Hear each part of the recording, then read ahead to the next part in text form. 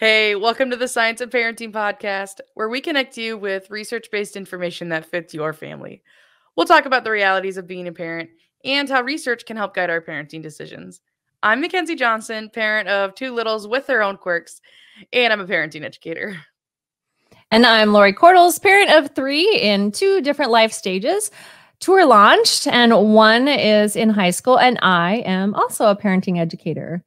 And here we are again talking about temperament. We're in season seven. We have been sharing for several weeks now about the idea of looking at temperament from a child development perspective. We took our season five child development, ages and stages, all those developmental things, and combined it with season three, which was all about those nine temperament traits. And so we have been, I, I don't know, sort of uh, marrying, combining, collaborating, all of the alls, right? Ta- mishmashing, talking about those developmental milestones and how temperament can interact with, play into it, um, enhance at times those temperament traits. Highlight, enhance, highlight. Yes. I was going to say other words. Those are probably, that's plenty. Those are plenty.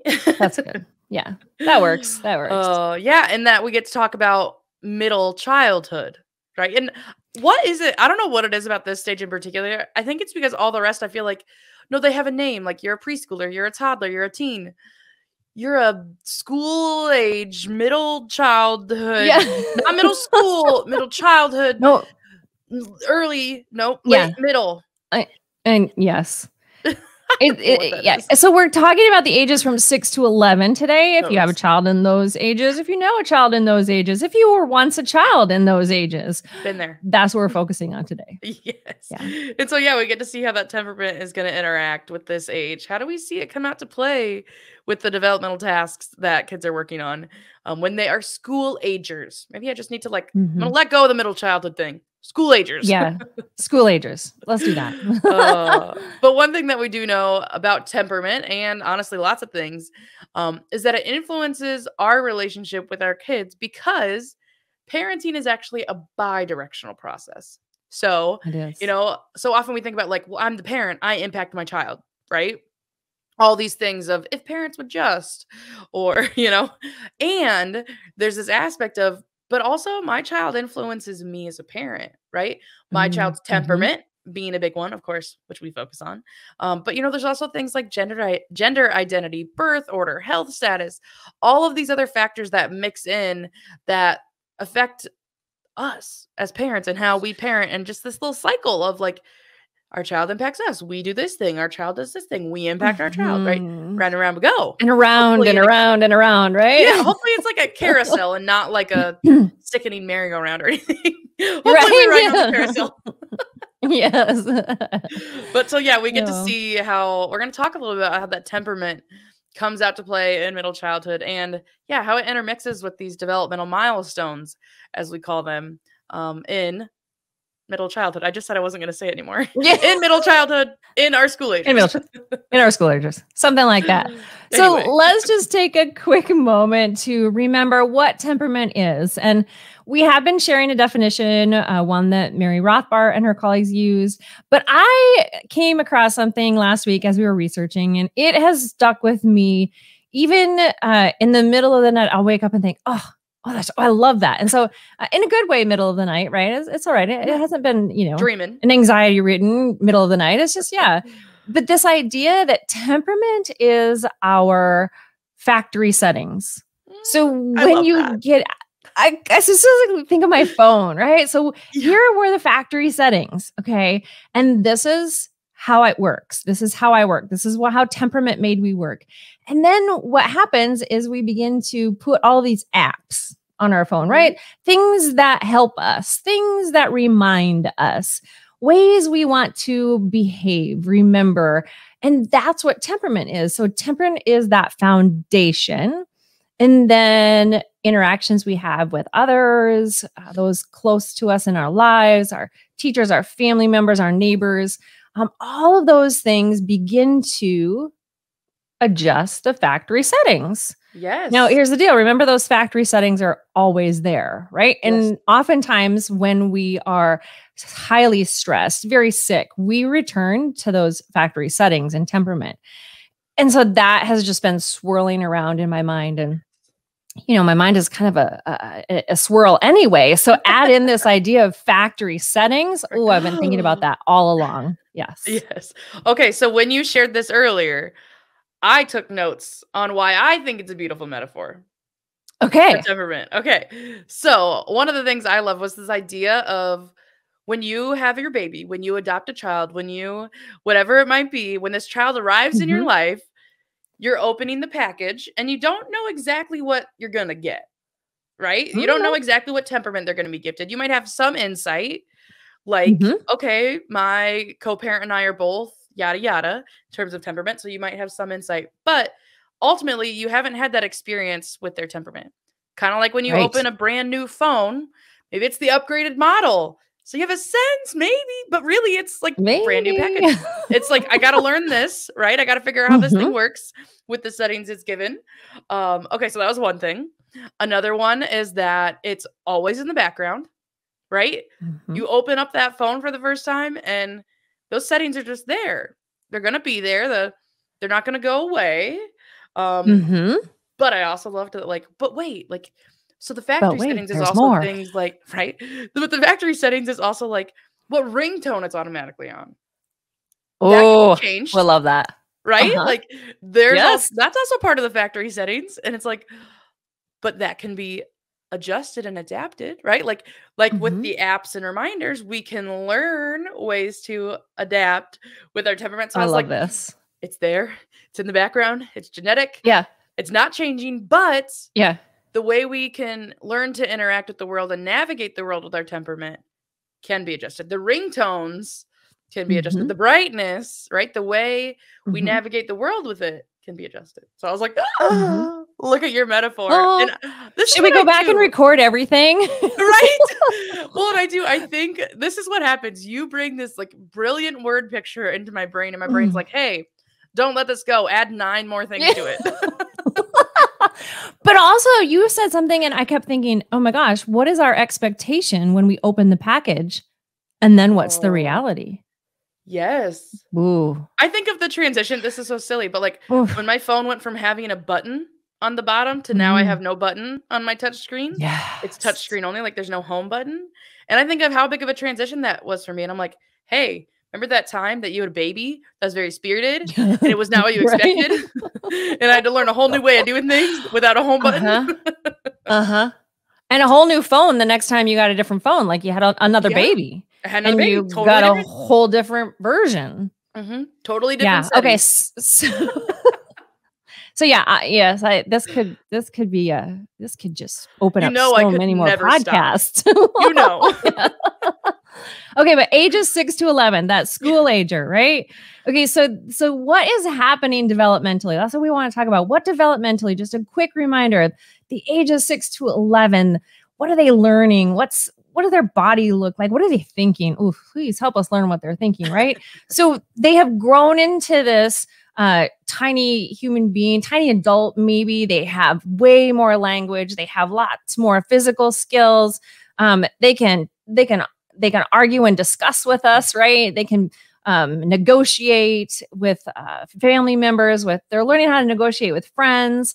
Um, physically, they have a lot of different skills. They might even be playing some organized sports. So sure. uh, physically they're more mature a little bit more coordination the, the age of 6 to 11 boo a lot happens we talked about cutting Yeah. this down into different you know shorter segments but we're going to stick with this middle childhood school age age but you know there's a lot there's a lot that looks different the from the age of 6 to the age of 11 Yeah. um, and so as we think about this is a really critical time that you know children are developing confidence in all areas of their life Uh, as you think about schoolwork and friends and even just confidence around the house with household chores or around the neighborhood riding their bike up and down Yeah. uh, the the driveway right F- then onto the sidewalk then down to the corner okay so a lot of different things happen during this age frame Oh, and I think you just highlighted, you know, you might if you listened back in season five when we did the ages and stages on school agers, we t- we did we talked about this big range between six to eleven. But I think the thing you highlighted is like this they're still in the same kind of stage of development, di- like same like similar milestones. The difference between age six and age eleven is how much, Mhm, right? mhm. Like learning to get yourself ready in the morning when you're six, right? Like what are the things that I need versus Mhm. how much more elevated it is to get yourself ready when you're 11. Um, yeah, but, like I can ride my bike now that I'm six, right? I have this figured out versus I can run back to the corner versus I can run back to my friend's house versus I can that's the and. I want to ride farther, right? And I want to ride farther. yeah. Yes. And I do, you know, we talk about mastery is a huge part of being like a school ager. I'm like, that's what's happening here, the mastery. Mm. And so, yeah, they are getting more independence from us and our family. Um, you know, you might notice their interest in their friends is really increasing Mhm. at this age. And so, friendship is a huge part of healthy development for our school age kids. They don't spend all their time at home with us anymore. They're like, oh, I'm in this extra activity and and I like with my Mhm. friends, or I want to go down to the neighbor's house, or right wherever they might be. Uh, but because Mhm. friendship is increasingly important, important, we also start to see the beginnings of peer pressure. Um, because they really value these social relationships, some kids, particularly related to their temperament, can be more prone to that peer uh, pressure. You know, sometimes just risk taking. I even think ju- I jumped out of a tree and broke my leg during this stage, like because I was taunted. Actually, Uh, by my sibling. not funny. So did I. So did I. But it was my wrist, right? so yes. Don't know. Oh, Maybe that's a rite of passage, breaking Yeah. a bone in middle childhood. yes. But the risk taking and the peer pressure can increase. Um, so yeah, it can be important. Help our kids with the, that confidence. Help building those skills to navigate those social relationships. That's a lot of what we focus on in this school age. But also a few more that I think are interesting that I'm like, okay, don't go on and on. But a few more worth highlighting. One, they're starting to be able to handle a little more responsibility, right? Along with that mastery of tasks, right? I can handle at six, I can handle even more responsibility at 11 of being able to go further on my bike, of handling more household tasks, of maybe doing my own laundry, of things like Ooh. that. Yeah, responsibility. Yeah, that's a good one. right? Responsibility. Um, okay, and then two more, and I'll keep them quick. Uh, one, thinking about for some kids, puberty will start during this middle childhood. Um, you know, towards Mhm. that age of 10, 11, especially for girls. Um, you know, and so helping prepare our kids for that is something that's important during this time period. And that for those 11 year olds, depending on what school district you're in, you might be getting ready to go to middle school. And so the transition Mhm. of how that's very different than the experience that they've had in elementary school. So, anyway, lots going on with our school age kids. Lots and lots. There is a ton, and and Dr. Diana Lang is a faculty member at Iowa State University, and she has given us um, permission to utilize her book. And in her book, she talks specifically about temperament in this age range. And the temperament theorists that she talks about in her book are ones that we've talked about, and that's Thomas and Chess. And they really identify that the idea of goodness of fit of parents and adults really taking the time to understand children's temperament allows for us to have this more positive relationship because we begin to understand that natural factory setting, right? And especially as these children go out into the world more in schools and formal settings, the more adults that can understand that natural factory setting and how to work with it allows for this idea of a better fit, um, more mutual understanding, um, more uh, positive interactions, and just that that back and forth, like you said, bi-directional opportunities. And this really is important during this age as children kind of begin to decide who am I in this great big world. Yes.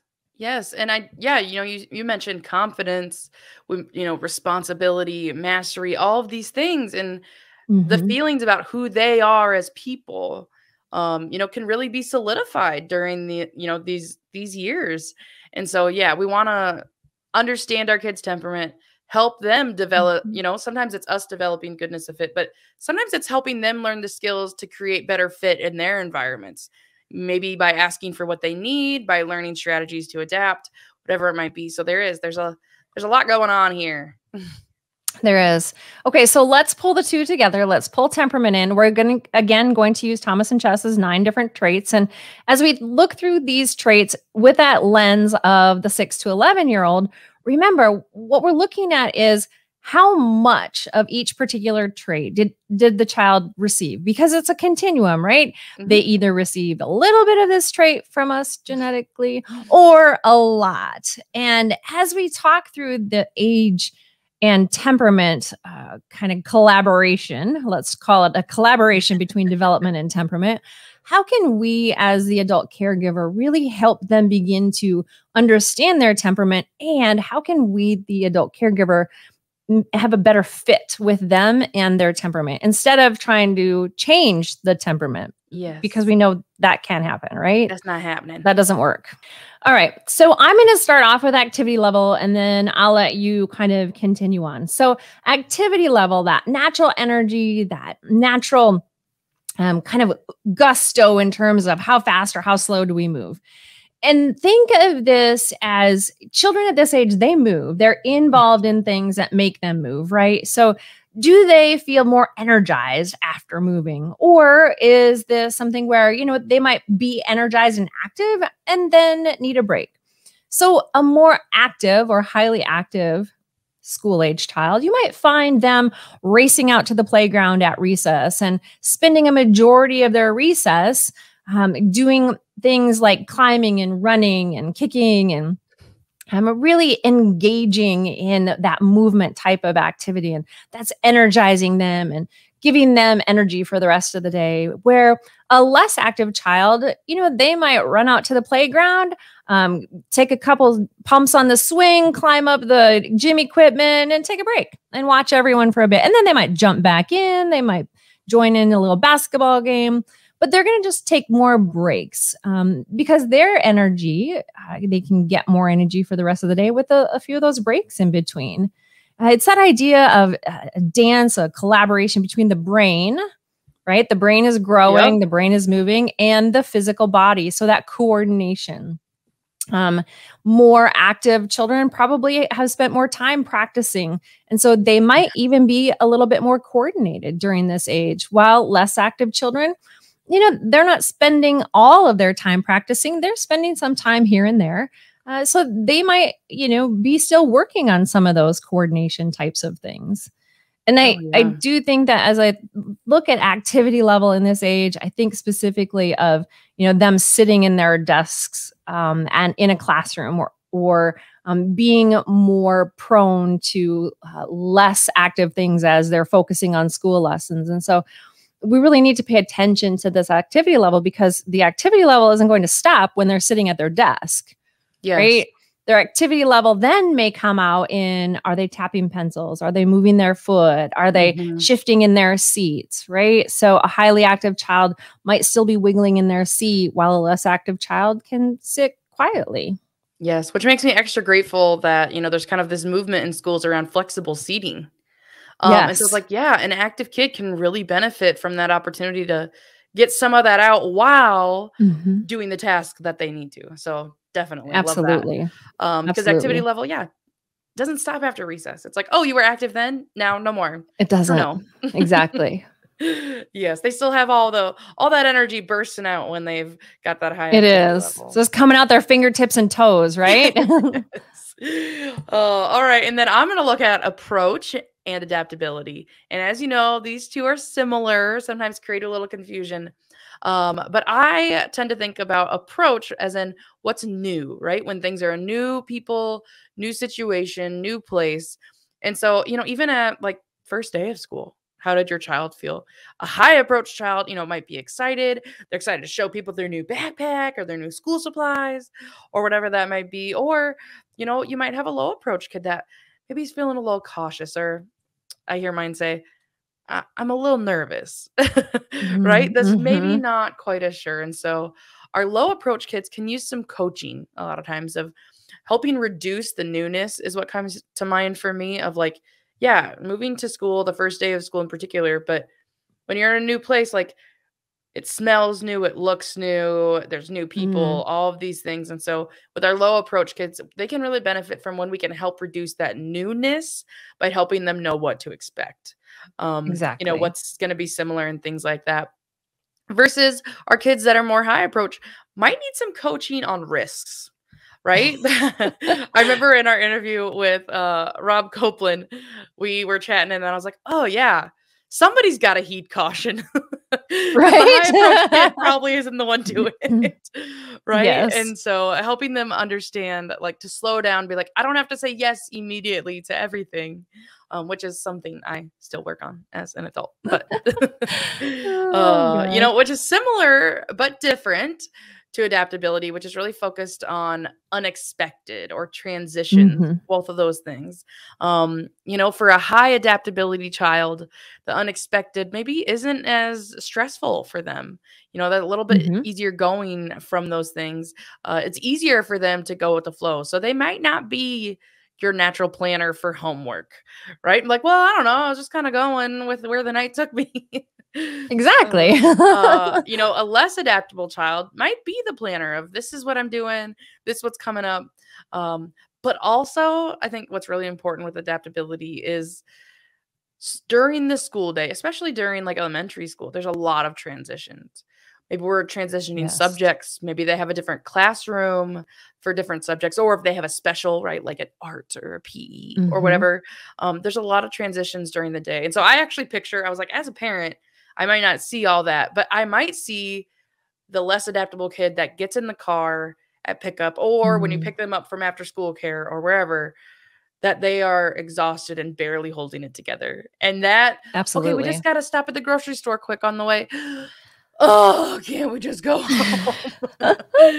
um, you know, and I think of when we have those sometimes in this age, they've got practice, they've got commitments, extracurriculars. And so at the, in the evening of, okay, we're going to stop home, grab this, we're going to go do this, and then we're going to come home, eat supper, and then we got to get to bed, and then we got to, um, that for a less adaptable kid, that can be a really hard thing. And so they like to be prepared for what's coming. And so we do, we see those, that approach and adaptability are definitely here, always there in the background, right? Those factory settings. Always in the background. Always, and and like you said, they all day long they've been adapting. All day long they've been flexible. They've been holding it together. And you get them in the car and you say, "Oh, guess what? We're gonna go get to we get to go do this." And you think they're gonna be so excited, and they have a meltdown. And You're like, that is so hard as a parent, right? Yeah. right. And like, you're Okay. a school s- I wasn't expecting a meltdown. Know. You're totally tapped out. You've given all of your adaptability to the people in the school. Yes. Yes. Oh gosh. And then okay, so let's pile on a little intensity and sensitivity, right? yes. So intensity is that natural oomph that they come with. So Mhm. did they get a lot of oomph or did they get just a little bit? So especially when it comes to this age group as they're navigating their friendships and navigating these new experiences outside of the home, a, a more intense kid uh, they might be very loud. They could be come off they could be coming off as brash. They could be coming off Mm. as um, a bull in a china closet. Y- you know those types of uh, words that we use as you know they just have a lot of oomph and they do everything with a lot of oomph uh, versus the child who you know when their friend gives them a gift they might just smile or maybe not smile because it, you know they're inside they're happy but outside their face hasn't said it yet. And so Mhm. as a parent we need to understand and help them also understand their intensity level. Um, I, I think of the child who uh, maybe exclaims loudly and their friend might think they're mad at them when actually it was you know just a loud exclamation Yeah. or the friend who yeah has given them a gift or done a really nice favor um, and they haven't um, you know maybe said thank you or maybe they didn't um, it, maybe they didn't acknowledge that gift or uh, special favor in the way the friend thought Yes. so helping children understand their intensity uh, they don't they're not aware of their expressions they're not aware of what cues they give off so that's intensity level.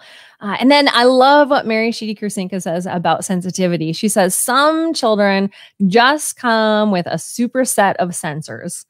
So sensitivity is all those senses, and a highly sensitive child is super sensitive to you know things like taste touch smell um, even emotions right so as you look at navigating those friendships they might, might be more sensitive again to someone not acknowledging a gift or not acknowledging um, a bid for friendship. They might be more sensitive if they're left out of a group. Uh, they might you know a more sensitive kid might notice uh, the teacher's look from across the room as the classroom gets a little loud. But conversely, the less sensitive children in the classroom may not even notice the teacher's frustration level rising. They Not on their actually radar. might not notice. No, not even on their radar. They might not notice the teacher uh, turn the light off to grab attention. Right? They're not sensitive. The they're they just don't even notice that little subtle hint they don't notice the subtle hints of their friends. And so again, we need to help them recognize what what are the other cues that other people are giving? What are the social cues that are happening especially during this age group? Oh yeah. Well, and then yeah, rolling right along on that, similar to sensitivity, which is a lot to do with that sensory emotional experience, there's distractibility, eh, which also has to do with attention. You know, both Exactly. both pieces of sensitivity and distractibility fit into this concept of attention um in Mhm. particular for a highly distractible kid you know i i the daydreamer right that like my brain has lots of things to think about places to go things to notice things to take in um that yeah it might be yes they're supposed to be sitting down like working on this or yes they're not supposed to be chatting with their neighbor but they had this really thi- really specific thing that I needed to tell them I just Um, you know, remembered. I just remembered and I gotta tell them because my brain will be somewhere else in a few minutes and it'll be gone. exactly. Yeah, so that attention for the highly distractible, you know, versus that less distractible child, it might be easier to tune people out. Um, for Mhm. that less distractible child. I think I've already said this example in a previous episode, but I'm amazed when we talk through stuff on our team meetings. Barb, Barb Ben Swanson, our like content curator, can just like Mhm. oh, I'm not listening to you guys. I'm doing this. And I'm like, oh, that is not a thing I can do. or it's not a thing I, I've learned to, to navigate the environment with that skill. um, but so that attention, the highly distractible versus the less distractible. And then its sidekick, um, particularly Yes. when it comes to homework, its Mhm. sidekick to is persistence. Um, so Mhm. this is also sometimes called frustration tolerance. So a child with a high frustration tolerance might be the kid that's like, I'm not done yet. I need Mhm. to finish this. This isn't I I really caution from using this word in my house. I'm trying to let it out of my vocabulary, but perfect. It's not perfect Ah. yet. Mhm. Um, and so that highly persistent child, you know, I gotta stick it out. I gotta come back to this. I can't let this go. Or it's hard for me to let this go, I should say. Versus the less persistent child that's like, this is too hard, right? This is overwhelming to me. I don't like to feel frustrated. Yes. I'd rather just not do this. Um, and so yeah, both of these traits of distractibility and persistence, huge things, as Lori pointed out to me earlier, related to homework Yes. lots of conflicts Yes. between parents and kids around this because and Mhm. one other thing you might not i was going to say maybe you can tell him i didn't give you any context. Lori said earlier that this idea of sometimes the things that helped you do homework well as a kid or even as an adult like help you to focus in those might not be the things that help your kid right? Maybe silence is what you needed maybe they need a little bit in the background you know? Mhm. maybe you needed to work on it right when you got home from school so that you remembered to do it. Maybe they need a break um, and then can come back to it later or to take it in in little bites rather than to sit down and crank it out. And so it is it's okay to say you know what? Maybe the way i did it isn't the way they would benefit most from doing it. So yeah homework. Absolutely. Absolutely. That I think is one of the biggest questions when I've done temperament profiles or temperament consultations. The biggest questions parents of this age have is how do we make it through homework? And in all honesty, the thing is is that you you could be end you could end up battling your child around homework for 3 hours. Really, Yeah, honestly, parents are like, really, "Oh yeah. yeah, that's it.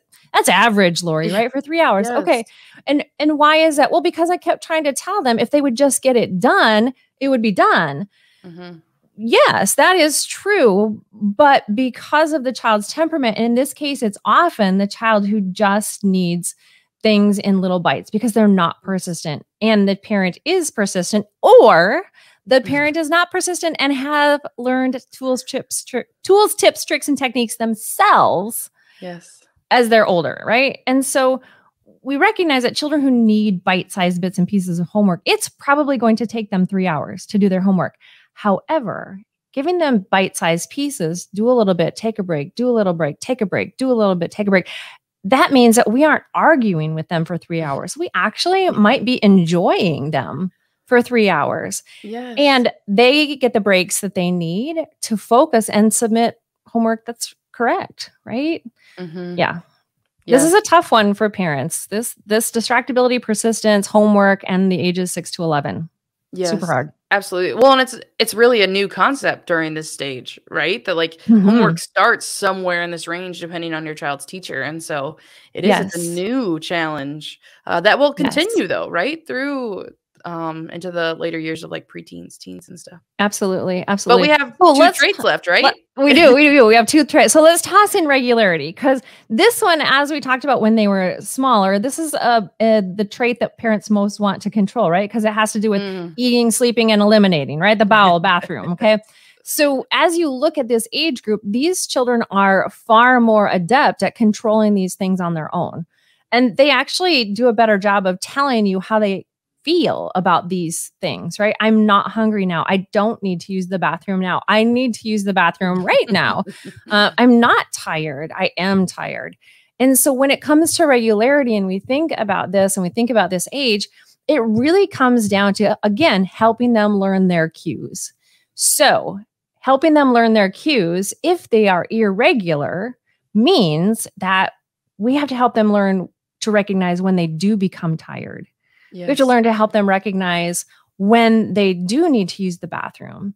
Um, and conversely, against that is that if they are a regular kid and they're in a very structured environment, that bathroom break might not be during the time that they usually need to use the bathroom. So, how do we cooperate and collaborate with other people in their lives to say, you know, my child is a very regular kid. He's going to need a snack. If you guys are traveling and, you know, going on a field trip, can can I toss a granola bar in his bag? Yes. Uh, and and the same with bathrooming. Uh, the idea of, you know, is there is there a way to have these irregular kids have some flexibility to use the bathroom when they need to? And and some of that is just honestly having open, honest conversations with your child and the other adults in their lives that it's okay for you to ask. It's okay to Yes. stand up for how you feel, right? yes. It's okay to express your needs. And so regularity, we also call, call it biological rhythms. Um, that's super important to, to teach children that your needs, wants, and desires are super important and they're valuable. And so let's talk Mhm. about that. Yes. Listen to your body. Listen to your body. Yes. Mm. And then the last one is mood. We've shared all along that, you know, mood is kind of that silly versus serious or somber uh, temperament trait. And so I look at the, uh, you know, this silly child of this age is probably notified th- that they are the class clown. Um, you know, they might just tell silly jokes. They laugh, you know, easily, that big belly laugh. And the more somber or serious child, you know, they might giggle or smirk at a, at a joke or um, you know, they might have that furrowed brow as the teacher is doing a lesson because they're really seriously thinking about it, deep in thought. Um, and so, again, what are those social cues? What do friends and other adults expect uh, that feedback to look like? Um, and if that feedback is a furrowed brow, you know, what might someone else be thinking? And so it does become, again, important to share with the child. Ooh, right now I see a big frown on your face. Are you really feeling like a frowny face or are you thinking hard about something? Yes. Okay. I had literally had an aha as you were just saying, walking through this. Okay. So I have very, this is not related to kids in middle childhood. I have very high mood. And so I do Mm. come off as very silly and I'm not afraid to joke around. And I'm realizing that throughout my life, I've been very worried that people think I'm never serious. Like, or that Oh, I'm yes. like, I'm not smart or that Mhm. um, and so okay, I guess yeah, it does relate to being a school ager and that like just because you're silly, just because you have goofing around Mhm. doesn't mean your child is not learning doesn't mean your child um you know isn't intelligent or can't perform Mhm. well or yeah and so i'm like you know the whole silly Yes. thing that i people tend to think oh high mood what a good thing that you're so fun but also like okay but people might also think well yeah they're fun Mhm. they're not they need to take this seriously it's like well mm, not Exactly. always either or And and the opposite of that is, you know, the because they're somber and serious, maybe people think they're a snob. Oh, they don't they don't like me. They don't like me because they they never smile around me. Well, gosh, actually they might really like you and they're really concentrating on how do I get into that friend group. yes Mm, mood i feel like we don't focus on that one a lot but i was like oh aha Aha! it clicks into place Hmm. Oh, Yes. yes. So yeah, middle childhood and temperament, it's there all throughout. I mean, at every stage, but in this one in particular, we see it, you know, in their tasks related to homework and their, you know, friend Mhm. groups and they're spending more time outside of our home. And so what are kind of what do you think of as we walk through this temperament, middle childhood, how they interact? What comes to mind for you, Lori? So I was thinking about all three of my girls as they were six to 11 year olds. They're all past that stage now. And um, I was thinking about how, you know, a couple of their traits are very opposite. So Mm. uh, one is uh, highly, highly sensitive. And she, in second grade, was moved to the front of the room because she's also distractible, right? And not very persistent. So her teacher, Yeah. uh, bless her heart, moved her to the front of the room to try to help her focus, which was a great idea, one I fully supported. Uh, but what we found out was that this particular classroom was in the northwest corner of the building. And here in Iowa, it's a little cold and typically the Ah. northwest corners of any building. and so the teacher had a uh, small little space heater under her desk. And my highly sensitive child, even though she was in the front of the room and less distractible because of the children all around her, she was now even more distracted by the hum of the space heater under the desk. yes. It su- super sensitive. And so that during that age group, we were trying to, yeah. And then um, another daughter who is um, less approaching and, uh, you know, but very adaptable. I sometimes chuckle because she's got a positive mood and so, but, but not, but not particularly approaching. And it always surprised me when she would suddenly stop at something new.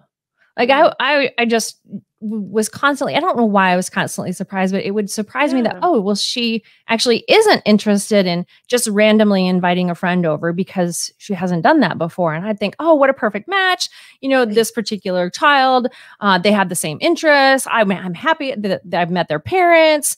Of course, she wants this to happen. And so then I would be surprised when she would be like, mm, "Mom, I, I no, no, I'm okay." And I'm like, "Oh, darn it! I blew it again.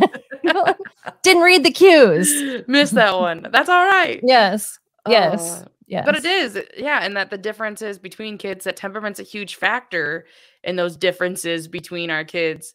Um, but yeah, to be able to notice them and help them navigate the world with the gift they were given in their temperament, their factory settings versus their siblings, which is a different model. Exactly. Oh, yeah, two different models. And and the idea again that you know some of this the exact same trait can be um difficult at one age and not difficult at another age. You know, so same child, same trait, all of a sudden, you know, now in school we we maybe don't value their high activity level as much as we did when they were an infant and we were hoping they would learn to walk and crawl, right? And now their high activity level is an issue in the classroom because they're, you know, fidgeting and, and wanting to get up and move around. So same kid, same trait, different age, and different we feel differently about.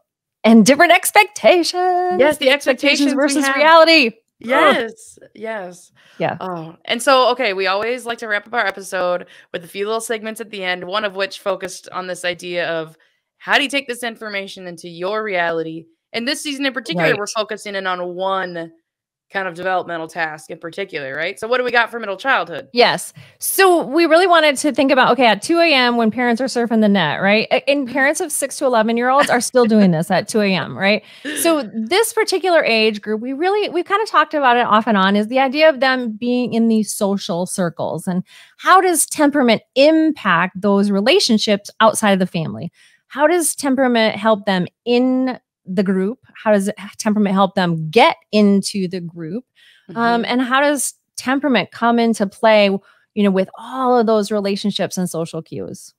Oh yeah. And so we have a couple that are really awesome from Raising Your Spirited Child with Mary Sheedy Kurcinka. Uh, but that we thought a lot of these tied, whether you have a spirited child, a flexible child, um, you know, a more mm-hmm. fearful or cautious, we thought all of these could come into play. Um, and so the I, I, have two that I'll start with.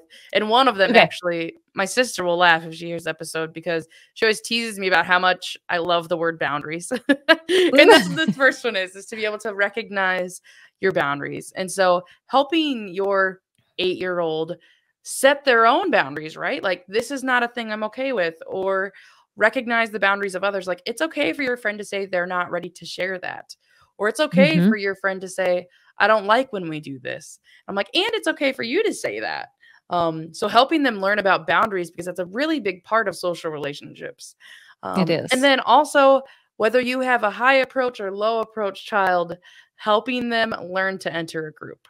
So both ways, um, a low approach child might need some coaching about like, well, I don't know. You know, you talk about. I remember you mm-hmm. telling the mm-hmm. story of eh, your daughter physically leaning in towards children she might want to play with, but that her yes. feet were like glued in the cement. yes. And so, mm. you know, that low approach kid could maybe use some help with how do I get started? Um, you know, mm-hmm. versus mm-hmm. your high approach kid might need some help softening that startup of the jumping in, coming in, uh, coming in hot. that might yes. be your high approach kid. And so helping them learn appropriate ways to kind of enter or be a part of social groups.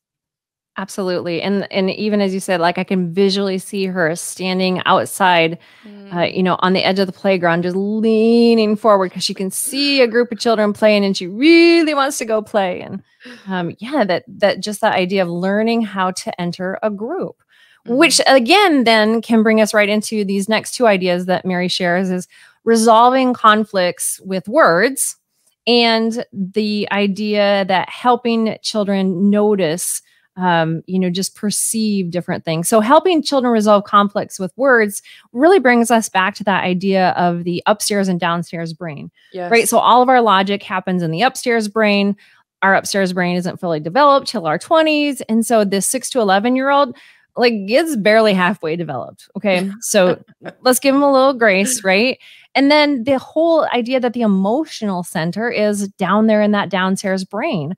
And children, you know, getting involved with other children, that's emotional. Oh, are they going to accept me? Do I belong? Mm. Are they not going to accept me? Do I don't belong? And so it's sometimes easy for children to dive down into that downstairs brain and maybe use their their fists or their legs to resolve a conflict right kicking or yes. hitting right we don't often see that but when we do it it really means something to them like i am struggling here and i need help mm-hmm. and so practicing ahead of time, helping them with those words in times where they don't feel so intense and they mm-hmm. don't feel so frustrated with, mm-hmm. you know, not being able to get into a group or being asked to leave a group. All those types of things happen in this age group. Or, and then, or with oh, their sibling. Yes. Oh, yeah. Okay. yeah, siblings like, or, too. maybe use or, yes. yes, those siblings, right? Yeah. So yes um, resolving those conflicts with words in, instead of our bodies. And then the idea that uh, perceptive, especially perceptive spirited kids, they can catch the subtle. And so we sometimes have to help them notice. Um, they actually, they already notice things. We just have to help them to interpret what they're noticing.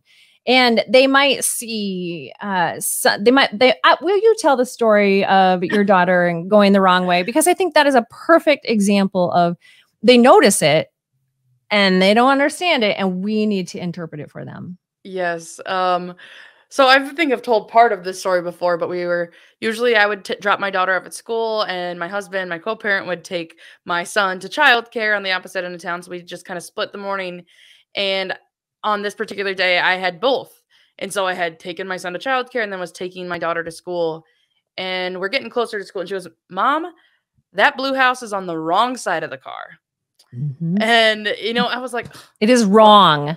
wrong. there's her adaptability, right? I struggle with this because I'm highly adaptable. I'm like, no, it's on a different side of the car. And she's like, wrong.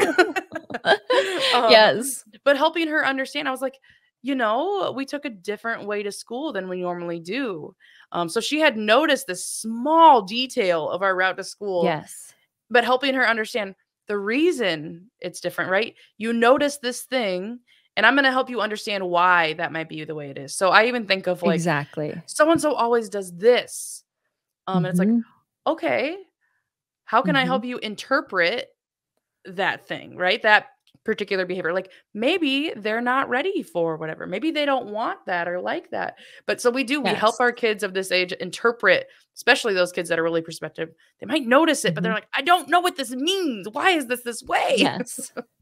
and I can I can even count on the my fingers the number of times that I was told I was wrong because that's not Mm. the way the teacher said it was. Right? So during this Oh. age we do have this idea that, you know, well mom you're wrong because that is not the way the teacher said it was. So so helping them to interpret the differences, helping them to Mhm. uh, find that flexible thinking, right?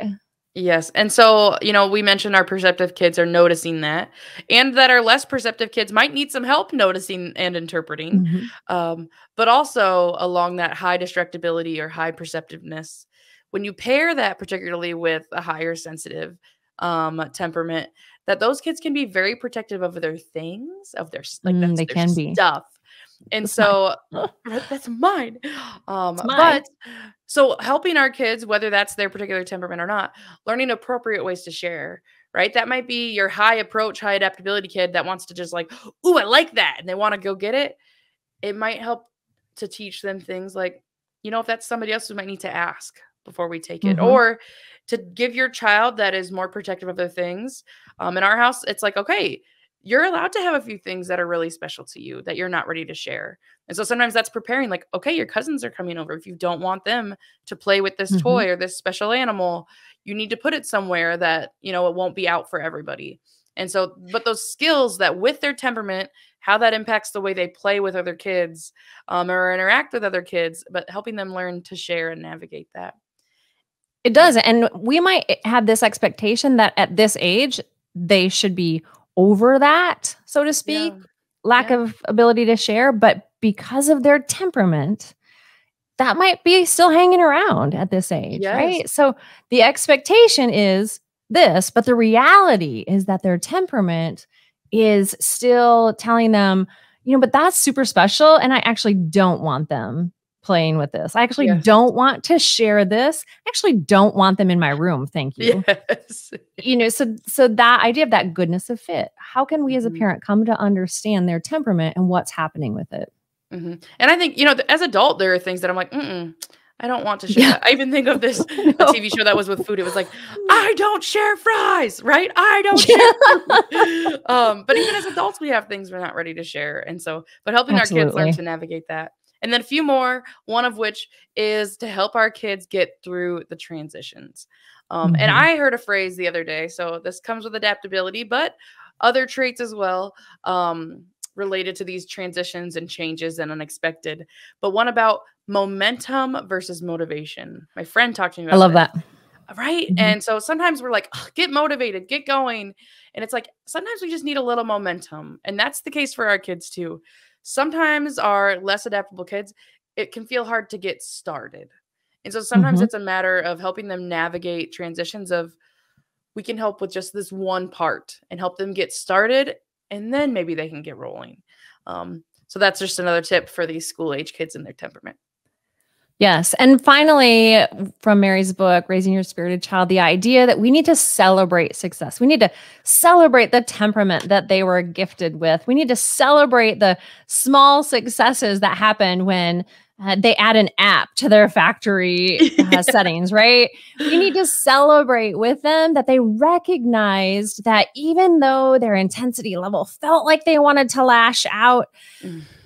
they took a great big breath and they use their words and celebrating their temperament helps them build that confidence, build that self esteem, build that sense of belonging.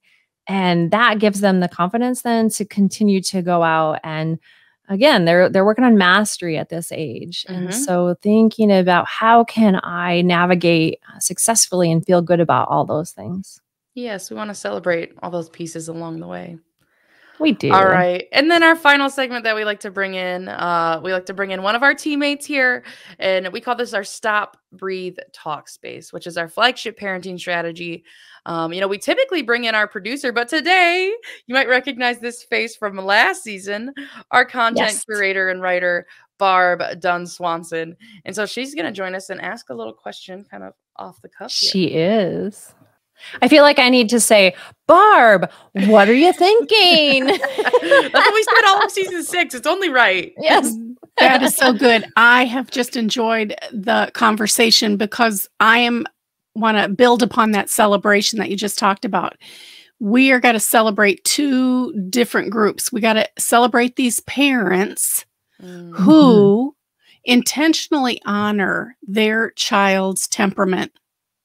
No matter where your child individually falls on those temperament spectrums, Mhm. they're all temperamental gifts. And so Mhm. just because someone is potentially low adaptability, that's not a negative. That's not. Correct. Or if, right, or if they are um, a low approaching, or if they're high mood. And as you Mm. talked, Mackenzie, you said, I can maybe be uh, called silly at times. That's not a negative. And so we want to make sure we reframe how we think about Mhm. who our children are in their temperament, right? Mhm. and then and then celebrate those classroom teachers who in fact have a classroom full of individuals who have all cer- different kinds All of of, temperamental all traits. of them all of them. And so then how do they manage to help each of Mhm. those kids enter a group and or Mhm. accept someone new into the group? You know it's one thing to try to enter a group. Well then it's a whole nother thing to have someone enter your group when you kind of want it kind of closed right yes Oh my goodness. The other thing I want to say that's really, really important is exactly what you were talking about, Lori the essential elements of positive youth development. Mm, Mm. Kids all want to belong, no matter how they Mhm. get there, yes. no matter who helps them, whether it's a parent helps them navigate who they are in terms of their temperament, who they are as a member of the family. They want to um, belong. And so, any way that we as adults in the life of a child can help them uh, belong successfully, that's going to be so important. Helping them enter a group, helping them find their way, find their voice, help them um, develop the uh, flexibility that's needed to be part of a classroom. And teachers do that every single day, help those kids They do. that, right? yes And then the other Yeah. one is the mastery. That's the other part of Yeah. uh, positive youth development. Kids want to be successful. And one of the ways they get that success is by being in a classroom full of other kids who have those boundaries that you mentioned. My favorite word. right. because those boundaries are a protective factor. Mhm. And those boundaries help those kids learn that we don't all look alike and we don't all think and learn alike. So there's room for all of us in this classroom. And Mhm. that's why I'm celebrating this classroom teachers yes. because it's those classroom love that. teachers who build the environment because home, the home environment is different than the school environment. And then those parents welcome those children back home at the end of a long school day. And you talked about it. Some of them have to rest and recover from being in that classroom all day long with all kinds of different kids who have different temperament traits than they have. And it's a fine dance, isn't it? Mhm. it is between environment and between individual uh, classmates Mhm. and between what our parents, how they help us, and how our classroom teachers help us. So yeah. those it are the things I'm thinking about. I I uh, think I've said enough. I, I won't even come up with a question. I just want to celebrate this great conversation and the nice um, collaboration between temperament, our individualism, and yet um, how they fit nicely with that school age child. They do. They do. Yes. Mhm. Aw. Aw, Thanks, Barb. I always love You're so Barb's welcome. perspective. There's so much to celebrate in our school age kids and us as parents and teachers and There Love it. is. Yes. Yes. Mm. All right. Thank you. You're welcome. So, we've been able to share uh, today about the idea of the middle school age child, the elementary school age child, that child from 6 to 11, and how does their development, those milestones that happen during that age span, what happens alongside temperament when we put those two together, and what does temperament enhance? Um, where Mhm. do we need to help our child learn? Uh, how do we give them the skills and opportunities to take what they got at the factory setting, right? And add some apps uh, Mhm. so that they um, have um, opportunities to belong and build confidence. And at the same time, again, that, that bi directional parenting, we're learning from them, they're learning from us. And how can we create a better fit? That goodness of fit that Thomas and Chess talk about um, with Yeah. that child of this age. Did I forget anything? the only thing I can even think to add is yeah, just but I, I mean we could say it every episode of yeah, that the traits that we were like, oh, thank goodness I had a toddler who was blank. And they're like, Yeah. oh, now I have a child who is blank. Isn't Right? Yes. Um, and so how we see, and you know, that's one of the huge reasons we talk about it's not good or bad. And even like between you and your co-parent, your co-parent's like, oh, thank goodness we have a child who is, and I'm like, oh, Mhm. it's hard for me It's but hard for me. that Yes. bidirectionality, but yeah, different at every age. And so it's interesting to see how our kids' temperament come out, how it's going to come out to play in middle childhood, and how we'll hopefully see them begin to kind of increase their mastery as they Mhm. move through middle childhood, you know, getting a little older, you know, those 10 and 11 year olds and what they're navigating looks different. So yeah, it's good. And I hope that you maybe caught a little bit of this on the way, but they're getting to this age where you can talk with them about their temperament and you can share with them some of the insights you're learning about temperament and, Mhm. you know, interpret for them what it is these feelings mean and interpret for them how they can use those feelings and, um, you know, move into different social circles. Mhm. So, well, yeah, and you know that goes with that that confidence too of using positive language to describe their temperament of like, you know, you like to check Mhm. it out before you dive in. Like, what a beneficial trait, or you know what, you get so excited, you're so willing to try new things. Um, Mhm. you know, and helping them see the positive and the strengths that they have with, like Barb said, with the gift of their temperament. Absolutely. So, thanks for joining us today on the Science of Parenting podcast. And we want to invite you to subscribe to our podcast.